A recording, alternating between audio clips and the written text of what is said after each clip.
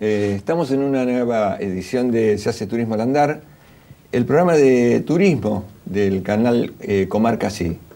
Eh, bueno, siempre les digo que, que, este programa tiene el auspicio de la Asociación Civil Turismo y Ambiente y tratamos todo el tiempo de traer distintos actores que nos, de alguna manera nos reflejen las miradas del sector público, sector privado.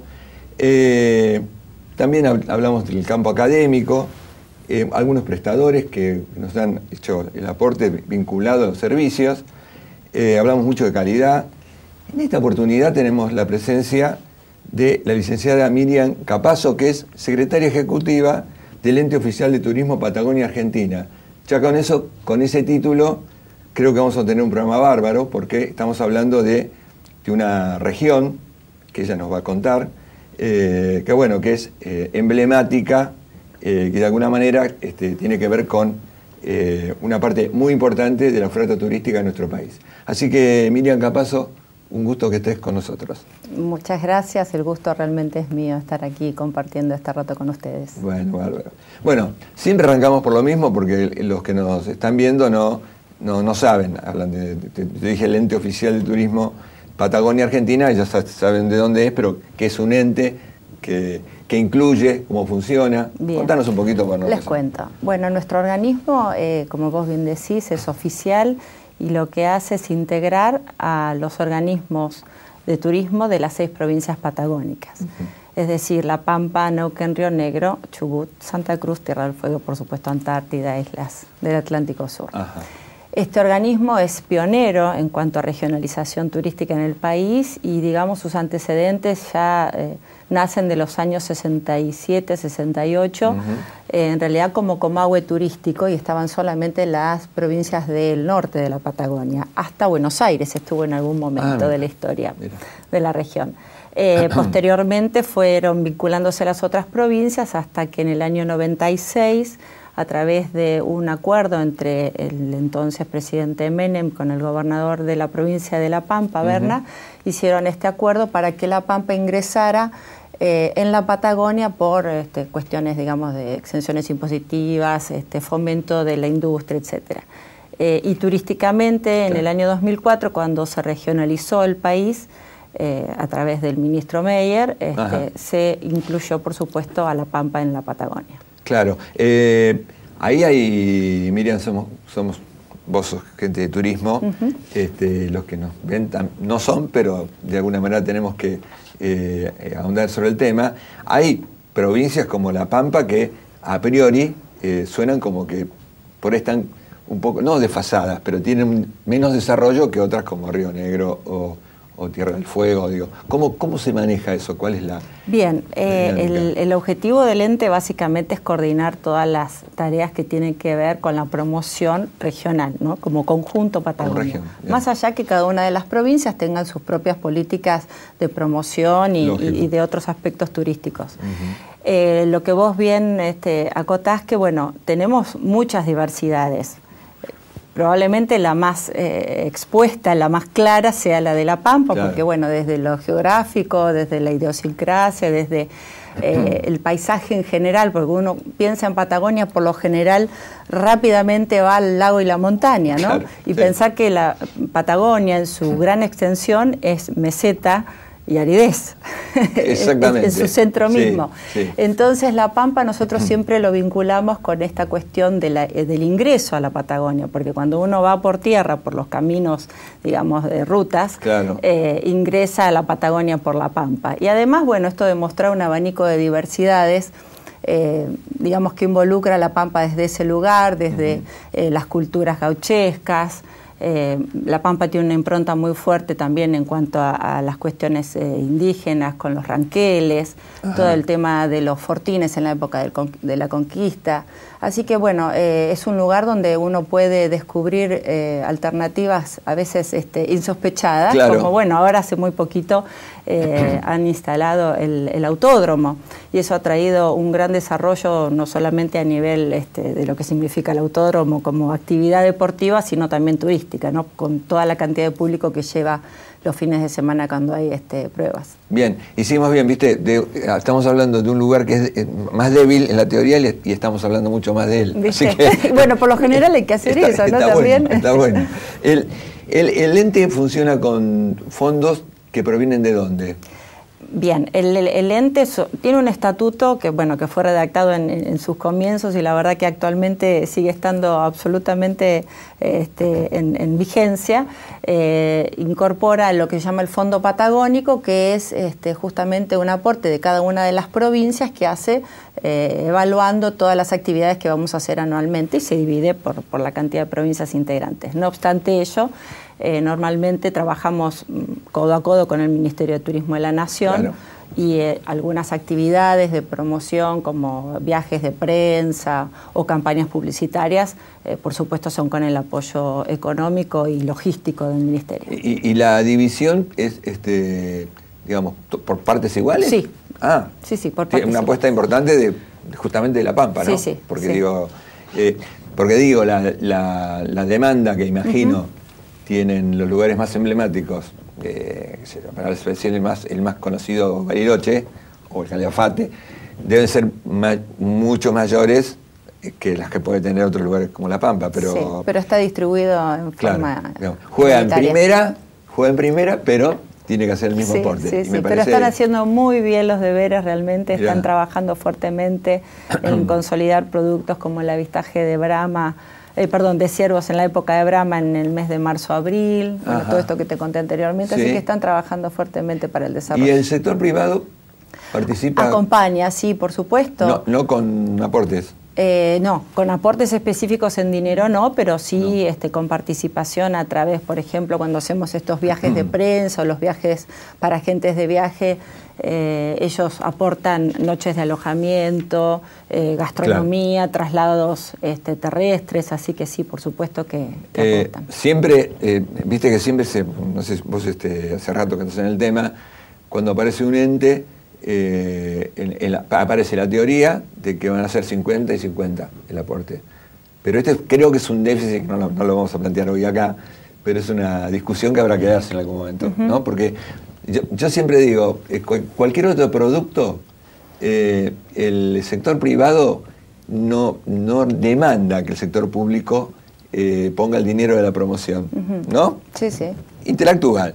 Pero nuestro sector privado yo lo veo en distintos lugares, Mar del Plata, por ejemplo, eh, la plata siempre lo pone el Estado. Y el sector público acompaña, no, no, no, no estoy haciendo una crítica al ente del Patagonia, porque imagino que tendrán la dinámica que tengan, pero siempre como cuesta poner la platita porque es como que no hay confianza en el Estado, Suponemos que es una cosa que tendrán que irse, Igual tenemos este, un, acercamiento bastante importante a través de las cámaras y las asociaciones, ¿no? Por lo general, con, por ejemplo, la Asociación Argentina de Agentes de Viajes, con la Federación de, Entidades Gastronómicas y Hoteleras, eh, tenemos un, trabajo, eh, a lo mejor más que nada de logístico, ¿no? de sinergia, de trabajar en pos de un objetivo común eh, no sé si tanto en, dinero, pero sí en, trabajo conjunto. El otro día eh, un chico del, sistema me decía, muy lindo el programa, pero parece que estuvieran hablando entre, entre gente que sabe el tema. Dice, traten de ser más abiertos porque me dan, por, por, sentado, algunas, cuestiones y creo que tiene razón. Está bueno. Eh, no, digo, hablamos de La Pampa, ¿por qué no nos contás un poquito más? muchos seguramente ya los conocen, pero cuáles son los fuertes de la, bueno, de la, de la Patagonia como región. De la región, bueno, a ver, si hablamos desde el punto de vista nacional, tenemos este enclave, como vos bien decís, pionero del turismo en Patagonia como es Bariloche. El Mar del Plata de provincia de Exactamente, ¿no? Tanto la costa como Bariloche fueron los dos lugares de desarrollo turístico este, históricos en la Argentina. Eh, bueno, por supuesto, también lo nombraste el, Calafate, con todo lo que implica la zona de glaciares y, los lagos, la zona también de Bariloche, San Martín de los Andes, son como corredores ¿no? que están instalados en el desarrollo. Puerto Madryn, toda la península eh, Valdés, este, para avistaje de fauna en general, pero la ballena siempre son, son ballenas y pingüinos son los básicos. Bueno, y lo que significa desde el punto de vista místico el, fin del mundo, llegar a Ushuaia, ¿no? a la Bahía La Patá y al final de la Ruta 3 y por supuesto los viajes a la Antártida. La Tierra del Fuego, decían, me acuerdo hace un montón de años que los italianos decían la Tierra del Fuego. Eh, bueno, te iba a decir que además, bueno, estos son las cuestiones nacionales, bueno, todo lo que tiene que ver también con San Martín y Villa Langostura, eh, Esquel. Eh, y cuando llegamos a la temporada invernal, por supuesto, nuestros centros de deportes invernales, que no solamente están eh, vinculados al esquí, ¿no? porque siempre uno piensa nieve, esquí, y mm. la idea, la ecuación es que sea nieve, familia, divertimento y sí, y da esquí, pero también hay un montón de actividades que podemos hacer. Justo estamos encarando una campaña muy fuerte, eh, el Ministerio de Turismo de la Nación, con la Cámara Argentina de Centros de Esquí y las provincias que la integran, incluyendo también a Mendoza, estamos trabajando en una, en una campaña muy fuerte de temporada invernal para que la gente piense en esto, ¿no? que no solamente tiene que ir el esquiador, sino la familia puede pasarla muy bien con trineos, con este, raquetas, las actividades que hay en el fin del mundo, con el esquí de fondo, que no es el, esquí alpino, ¿no? que no es el de esquí de descenso, sino el de travesía.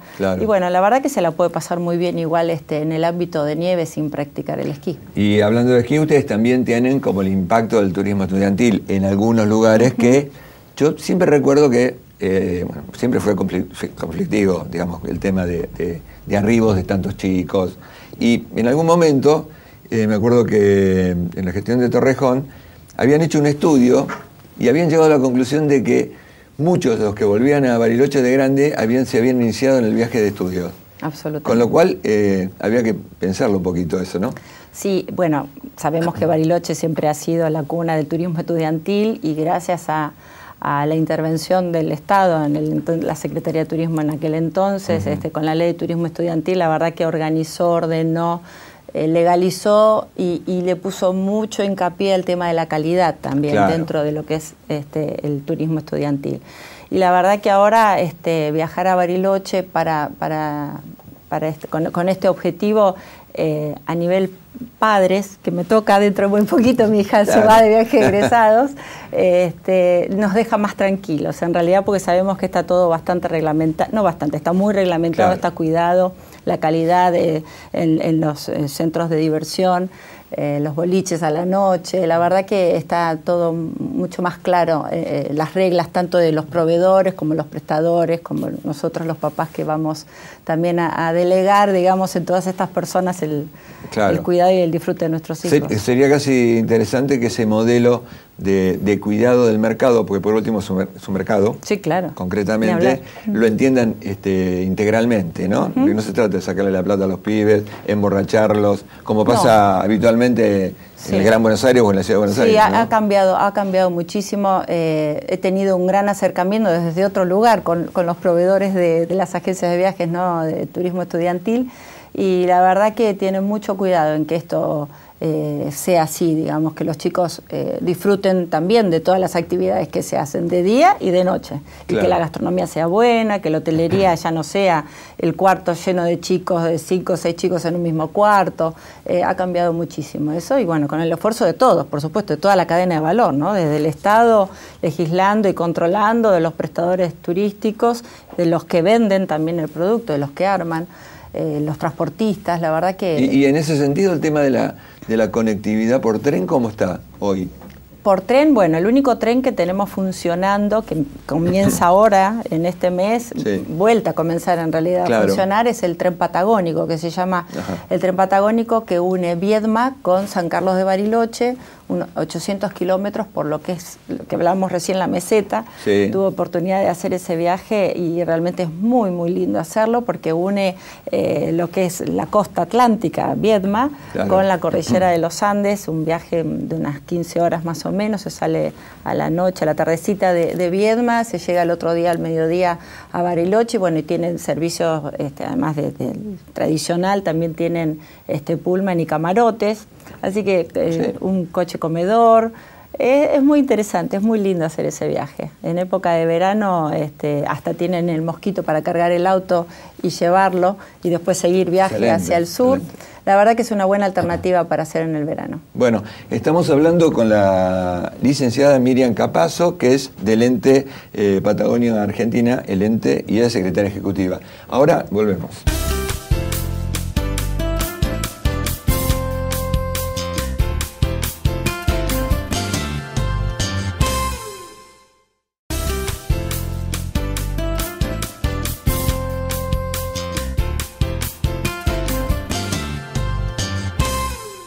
Bueno, seguimos charlando con eh, Miriam Capazo. Este, estamos este, muy apasionados con el tema de Patagonia.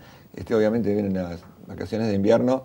Y bueno, eh, justamente digo esto y la pregunta va a ir en otro sentido. Eh, ustedes tienen mucha oferta que trasciende el tema de la nieve, no trasciende, complementa el tema de la nieve. ¿Cómo, lo están manejando y cuál es la oferta?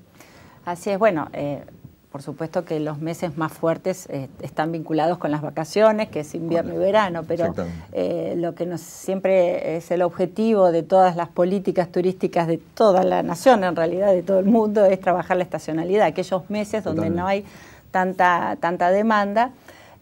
hubo, hubo, digamos, como un momento de inflexión eh, cuando a nivel nacional se trabajó con la calendarización de las vacaciones de invierno, es decir, desdoblarla para que no sea todo, todo el país en el mismo momento teniendo vacaciones, sino que está dividido.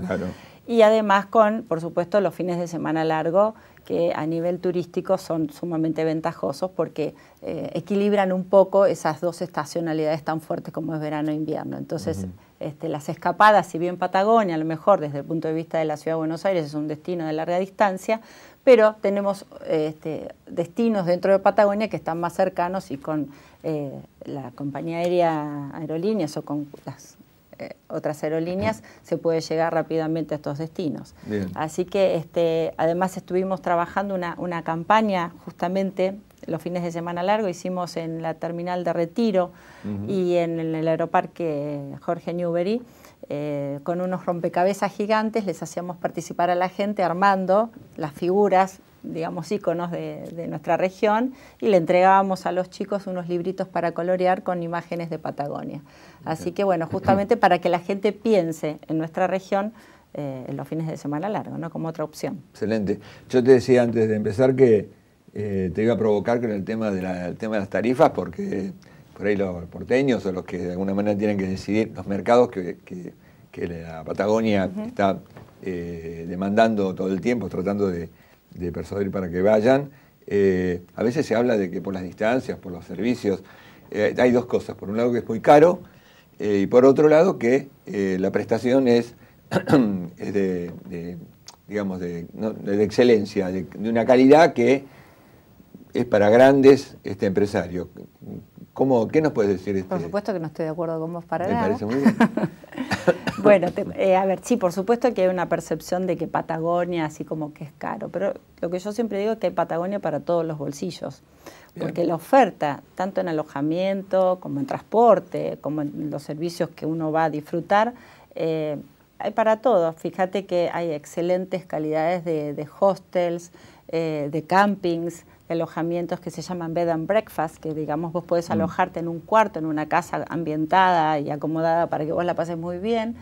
Eh, y bueno, por supuesto la hotelería, de todos los niveles y de todos los precios. Eh, en cuanto al transporte también, porque además del, transporte aéreo, que tiene tarifas bastante ventajosas con las promociones, etcétera, etcétera, este, también hay unos paquetes que se llaman aerolíneas vacaciones, donde la compañía aérea baja los costos y los prestadores de servicios también para eh, en las épocas de, baja temporada poder acceder a estos destinos que a lo mejor en las épocas de alta son un poco más caros. Indudablemente la lejanía que tiene Patagonia con respecto a los centros emisores hace que el, transporte encarezca un poco más al, paquete en general, que eso, eso es, innegable, ¿no? Claro. Pero bueno, eh, yo creo que hay para todos los bolsillos, sin lugar a dudas. Y con respecto a que eh, la calidad es internacional, bueno, fantástico que tengamos buenas calidades de servicios porque tenemos un mercado eh, internacional que hizo que mm, tuviéramos que ponernos a la altura de los servicios internacionales. ¿sí? Porque mm, más allá de, los lugares y los atractivos, uno tiene que ofrecerle al turista buenos servicios. Así que este, se está trabajando mucho en calidad, eh, en directrices, em, para que, digamos, cuando el, pasajero llegue, sepa que ese servicio que va a, acceder tenga una calidad a la altura, digamos, internacional. Y ustedes eh, tienen, sin, a ver, sin hacer cuestiones de porcentaje, sí tienen eh, mercados que de todo, de todo, de todo el mundo, ¿no? Sí, ahí tengo que hacerte como una división entre lo que es Patagonia Norte y Patagonia ah, Sur, o sea, digamos, lo, tradicional a nivel internacional, los grandes focos, los grandes tractorcitos, como, como yo digo, por supuesto que están emparentados con Calafate, Ushuaia, Puerto Madryn y Bariloche y Comarca de los Lagos. Son los grandes atractivos a nivel internacional que tenemos en Patagonia. Eh, y eso sí, por supuesto, hay un porcentaje alto de turistas norteamericanos y, este, por supuesto, europeos. Ahora se está abriendo lentamente el mercado a los que se llaman este, del lejano Oriente, digamos, por así decirlo, ¿no? Bueno, estamos hablando de chinos. es, Chinos, japoneses, rusos, lentamente están accediendo a, nuevos destinos, como por ejemplo un exótico que sería nuestro país, ¿no? Claro, Patagonia específicamente. Y que les va a demandar eh, cuestiones de capacitación importantes. Así es, así el tema del, idioma no es tal cual, poca cosa. Sí, costumbres también. Costumbres. Este, sí, gastronomía, qué sé yo. Digo, sí, hay una cantidad de cuestiones. Absolutamente. Hay que adecuarse a, los mercados que nos vienen a visitar. Mira, justamente eh, la semana próxima la Cámara Argentina de Turismo con el Ministerio y entidades involucradas eh, traen a compradores de estos lejanos este, mercados, también de Brasil, por supuesto, que es un mercado para nosotros súper estratégico, eh, para que conozcan, para que estén haciendo ronda de negocios con los operadores nacionales, los prestadores de nuestro país, o sea, los receptivos, los que reciben a los turistas, eh, se hace un gran encuentro en un hotel de, acá de la provincia de Buenos Aires y después se los lleva a estos compradores, se le dicen buyers, eh, a que conozcan algunos destinos de nuestro país, justamente para empezar a abrir este, los mercados. Sí, ahí obviamente el, descuento que el traslado va a ser en avión. No, te digo porque a nosotros, eh, trabajando en la provincia de Buenos Aires, nos pasó de traer este, eh, gente de Barcelona y, llevarlos desde, La Plata, por ejemplo, hasta Mar del Plata, y los tipos abrían los ojos así. Pues decían, ¿cuándo llegamos? ¿Cuándo llegamos? Porque la distancia para la para cualquiera de estas... No sé si hay, hay lugares que, China es grandísima, pero te digo, hay lugares que en Europa que, bueno, que, no se bancan. claro. Vos fíjate, yo tengo una anécdota, trabajaba hace muchos años atrás en Calafate como guía del Parque Nacional Los Glaciares. Tuve el privilegio de, casi no, no, pionera, pero bueno, hace muchísimos años atrás, y este, recibí un grupo de japoneses, antes no, se, no, había aeropuerto en Calafate, había que ir a buscar a la gente en Río Gallegos, claro. que son 320 kilómetros para llegar a Calafate. Claro. Entonces este, recibí este grupo de japoneses y la tour, la tour leader, la que estaba a cargo del grupo, este, me iba traduciendo, por supuesto, ¿no? Entonces yo veía a un pasajero que estaba con su cámara filmadora filmando la nada, porque cuando uno va, eh, digamos, de Río Gallegos, que es el este, hacia el oeste, transita toda la meseta patagónica. Claro, y te entusiasma, vos agarrás la cámara y... claro, pero no había nada, no había ni un cóndor, no había nada, era desierto puro, alguna mata coironia, alguna cosa así. Entonces yo le pregunto, ¿qué filmaba? Y, este, y el, turista le, contesta, la nada, porque él no podía creer que miraba hacia la derecha y veía el horizonte y miraba a la izquierda y seguía viendo el horizonte, la línea del horizonte, eh, no le entraba en su cabeza. Entonces este, él necesitaba filmar esa cosa tan extraña para su cultura, ¿no? que era que no había edificio, que no había gente, que no había nada. Miriam, vos mencionaste el tema de aerolíneas. Eh, fuera de, no vamos a poner a hablar de aerolíneas como, como, empresa, eso, el tema de, haber tomado las riendas del control de, por parte del, Estado en un porcentaje alto, eh, ¿qué, ¿a ustedes les provocó un cambio, les generó otro? Sí, absolutamente, sin lugar a dudas. Me acuerdo cuando yo entré a trabajar en el ente hace 10 años atrás, era el punto casi neurálgico, tema de, de casi todas las reuniones de la comisión directiva que no teníamos rutas, que no teníamos este, conectividad. Bueno, y ahora, después de un trabajo lento pero sostenido, eh, está vinculada a la Patagonia, por supuesto con la Ciudad de Buenos Aires, y lo, interesante es que también estamos vinculando con el resto del país sin pasar por Patagonia. Este, perdón, sin pasar por Buenos Aires, por, ejemplo, con este, lo que se llama el vuelo petrolero que une Neuquén con Comodoro Rivadavia, o también el, corredor federal que sale de Buenos Aires de la toda vuelta por el norte y, llega también este, y une Bariloche y otros lugares de nuestra Patagonia. Y también otra compañía aérea como es Sol, claro, que, también está haciendo estos vuelos más pequeños, por supuesto, pero que vincula, digamos, la parte de la cordillera. Eh, ellos se manejan más eh, interregionalmente. Así es, uniendo con Buenos Aires y Rosario, ¿no? En términos de, de estrategia para esto, para captar mercados externos. ¿Con Chile tienen, tienen relación? Eh, ¿Trabajan? ¿Tienen algunas acciones en conjunto? Porque la idea de que vengan para acá, sí. porque digo...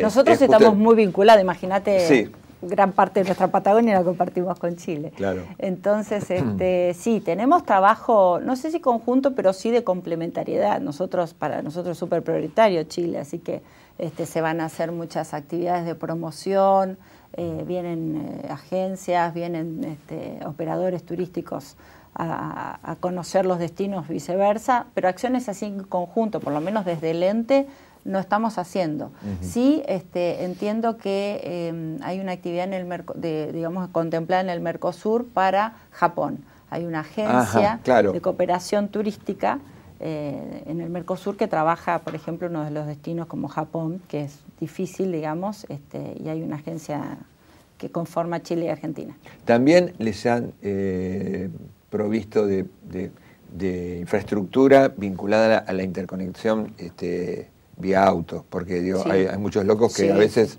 yo he ido varios en auto de la zona y he, notado cambios importantes, ¿no? Porque digo, eh, eh, el turista argentino mucho se tira a hacerlo porque hace, escala.